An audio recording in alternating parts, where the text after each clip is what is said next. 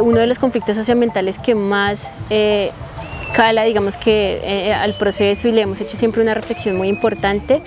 es el modelo de producción de monocultivo de expansión, digamos que representado aquí en la planicie con el cultivo de la caña, ¿sí? extensivo, aplicación de agroquímicos, contaminación, captación de aguas, eh, de, las, de los afluentes que pasan, digamos que alrededor pues del municipio, entonces captación, desvío de aguas, contaminación por, por las aplicaciones de, de, agroquímicos y de las prácticas agrícolas muy intensivas, muy agresivas. En cuanto a los problemas socioambientales en mi territorio, más concretamente en el municipio de Candelaria se encuentra una problemática la cual afecta al río. ¿Por qué? Porque hay empresas porcícolas que tiran todos sus desechos al río contaminándolo de esta manera, siendo perjudicial tanto para los que vivimos ahí como para las personas aledañas a este. En cuanto a esto, también esta agua puede utilizarse para el riego, lo cual es perjudicial para la seguridad alimentaria.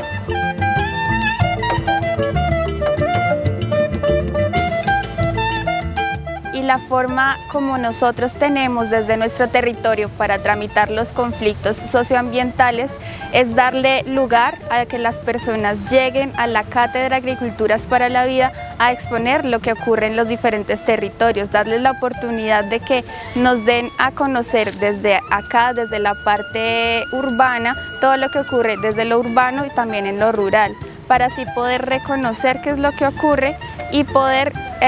generar encuentros, generar eh, incluso peticiones, organizarnos, desde salir y hacer un plantón, desde hacer un trapo y exponer los problemas para que así generemos unas redes y comunidad y poderle dar fortaleza y reconocimiento a las, a las situaciones que están ocurriendo y poder generar una acción finalmente.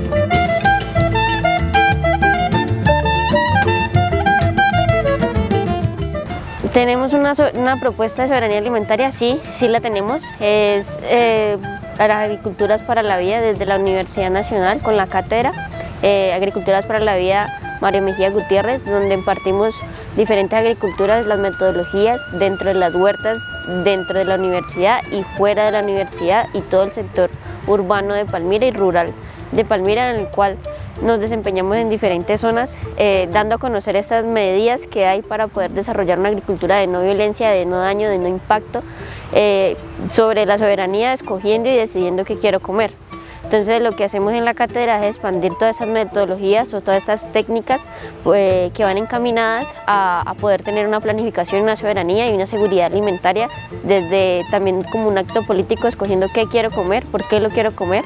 eh, no solamente porque es algo que está dentro de mi dieta, sino porque algo que me nutre, que está sano, que no está dañando, que no está causando un daño eh, más impactante al medio ambiente y también pues social que es dentro de la Universidad eh, de la sede Palmira como Palmira en su totalidad.